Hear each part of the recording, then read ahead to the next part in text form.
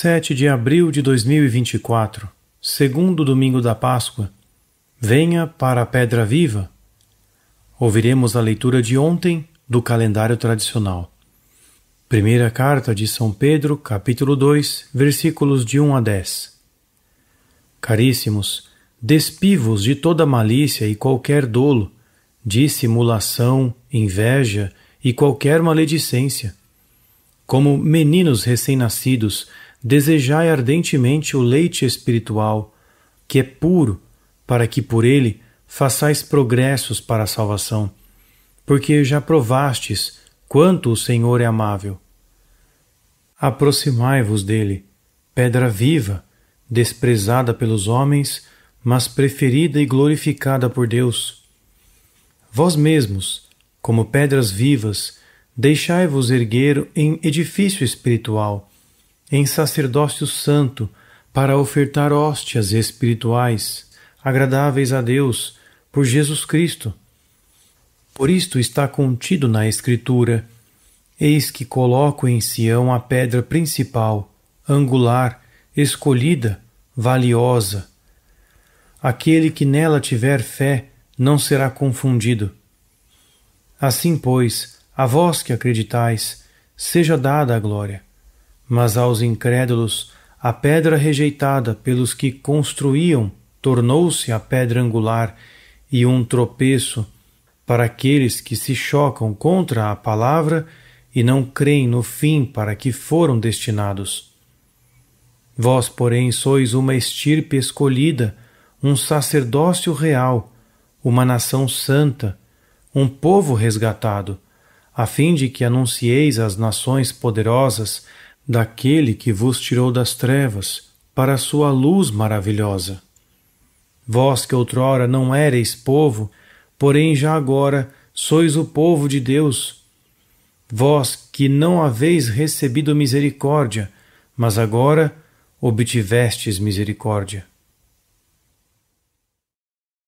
Escutaremos uma meditação escrita pelo irmão Elias, narrada por Felipe e acompanhadas por cantos de arpa-dei. Como é essencial para seguirmos o Senhor que trabalhemos em nosso próprio coração, superando nossas más inclinações, ou pelo menos conseguindo restringi-las de modo que não ganhem o controle e escureçam nossa vida. Devemos sempre nos conscientizar disso pois a eficácia da graça de Deus em nossa vida também depende de quão livre nosso coração é para cooperar com ela e deixar a luz do Senhor brilhar da forma mais transparente possível. Em uma de suas exortações apostólicas, o Papa João Paulo II disse: A santidade é um pressuposto fundamental e uma condição insubstituível para o cumprimento da missão salvífica da Igreja. Christi Fidelis Laiti.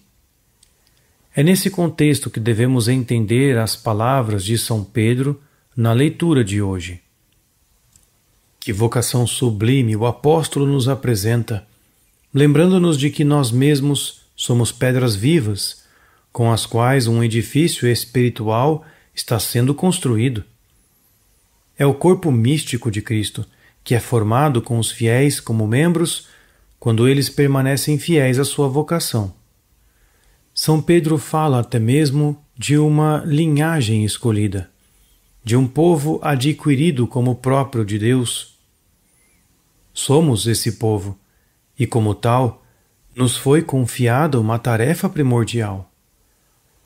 Vós, porém, sois um povo resgatado a fim de que anuncieis às nações poderosas daquele que vos tirou das trevas para a sua luz maravilhosa. Essas palavras são dirigidas em primeiro lugar aos cristãos que, tendo sido pagãos, encontraram a luz da fé.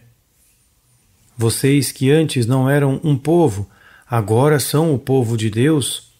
Vocês que antes não tinham alcançado misericórdia, agora alcançaram misericórdia. Isso certamente se aplica também a todos nós que tentamos servir na vinha do Senhor e cumprir a tarefa que deriva de nossa vocação específica, proclamar as maravilhas de Deus significa, antes de tudo, dar testemunho da obra incomparável de nosso Pai ao nos enviar seu Filho como Salvador do mundo. Essa é a mensagem perene que todos os fiéis são chamados a proclamar em um espírito de santidade. Ouçamos mais uma vez o Papa João Paulo II. O chamado à missão deriva em si mesmo do chamado à santidade. Todo missionário é autenticamente missionário se busca a santidade. Redemptoris missio. Se cumprirmos essa condição e dermos testemunho de acordo com a doutrina inadulterada da Igreja, há esperança de que também nestes tempos sombrios frutos santos cresçam na missão. Se em tempos de crise as pessoas reconhecerem que a fé em Deus prova ser um firme apoio na vida e que o amor de Cristo é a única segurança com a qual sempre se pode contar. Elas abrirão seus corações, acreditarão na mensagem do Evangelho e confiarão naqueles que lhes trazem essas boas novas com espírito de santidade. Embora a conversão das pessoas não esteja em nossas mãos, nem possamos alcançá-la simplesmente por nossa vontade, vendo assim os frutos de nossos esforços, é nossa responsabilidade lutar pela santidade. Nosso Pai é capaz de integrar em seu plano de salvação todos os atos que realizamos no caminho da santidade, muitas vezes de forma oculta, para que o amor aumente na terra e a luz brilhe mais intensamente. Assim, é oferecida a todos os fiéis a possibilidade de cooperar na grande obra de Deus e, ao mesmo tempo, de se tornarem frutíferos em seus próprios esforços pela santidade.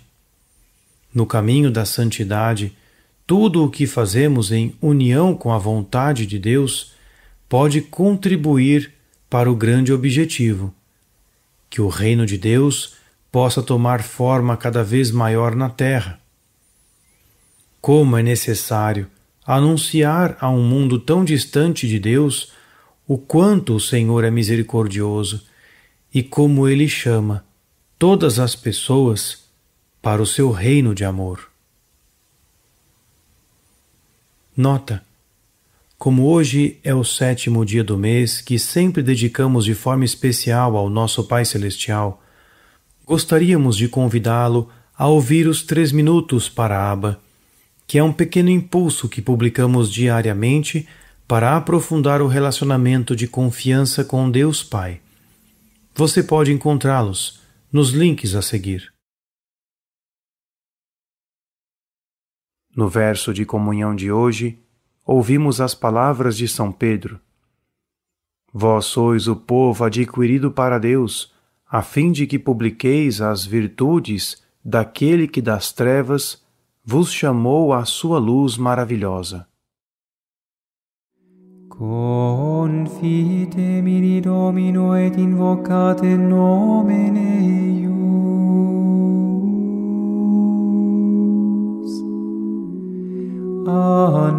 annunciate intergentes